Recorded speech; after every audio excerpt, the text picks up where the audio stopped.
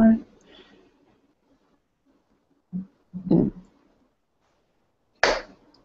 my god, oh my god.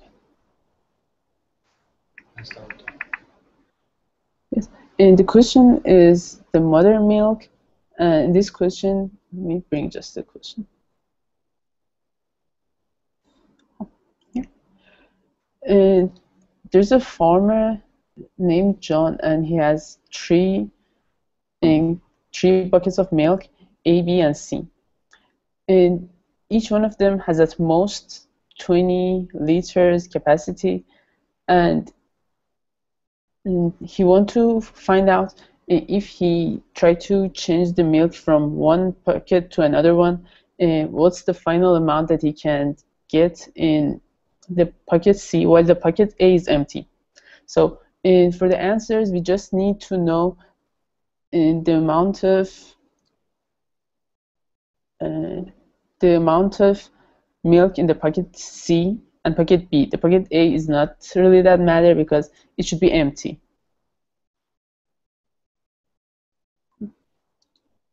So uh, uh, to solve this question, I try to use a 2D array, and it's a Boolean 2D array.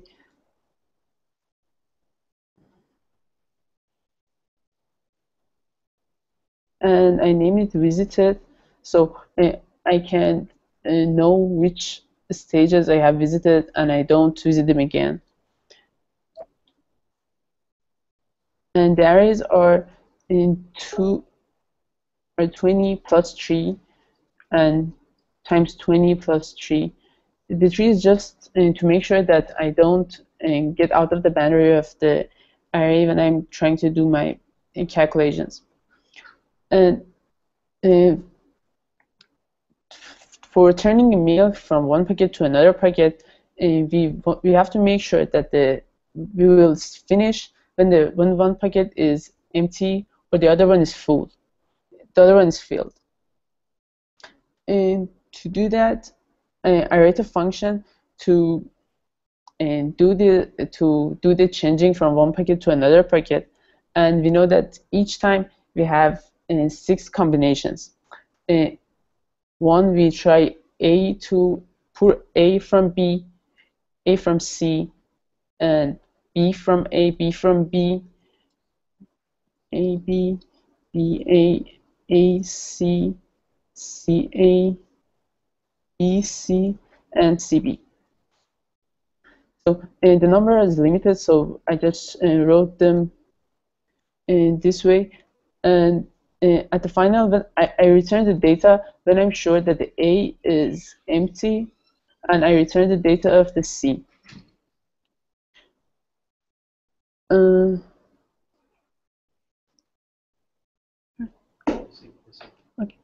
Uh, the pour milk is to uh, changing data from one packet to another packet.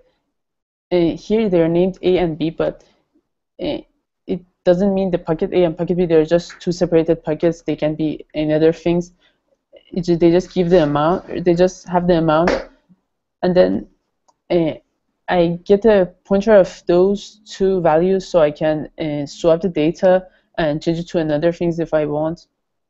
Here I use the while loop to uh, to fill one of them while I'm sure that the other one is not empty or one one is not uh, or the milk is not exceeding from the other packet.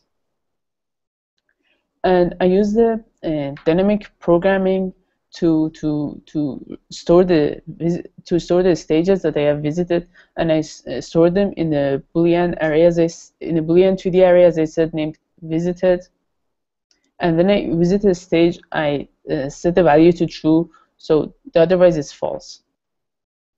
And A, the value of uh, milk in A is the, the total value, which was the value of C at the first time, minus the amount of milk in the packet B, and the amount of milk that is currently in packet C.